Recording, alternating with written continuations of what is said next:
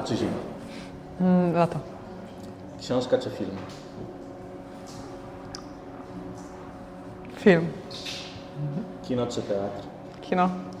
Kawa czy herbata? No jak w zimę to herbata. E, morze czy góry? E, Góry zdecydowanie. Telewizja czy internet? Telewizja. Największe marzenie?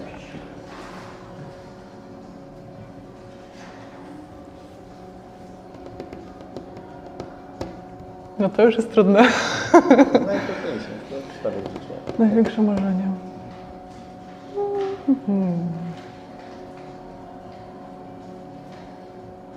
No do tej pory to było gdzieś tam e, być w czołówce najlepszych atakujących w Europie. Okej. E, Ulubiony numer? No 12. Sportowy idol? E, To jest e, Tandara, e, brazylijska atakująca. Facebook czy Instagram? E, Instagram. Heavy metal czy disco polo? O, e, disco polo. Urlop aktywny czy plażing? E, raczej aktywny. Aktywny. Tak, Mocny atak czy skuteczny blok? mocny atak. Gdyby nie siatkówka, byłabym...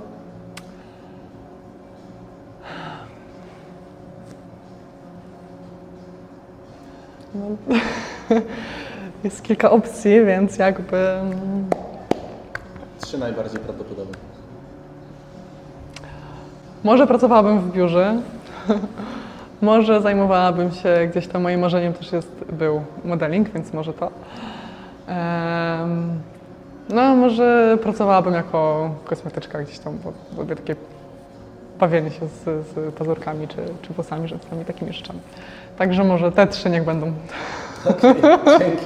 To było najtrudniejsze pytanie.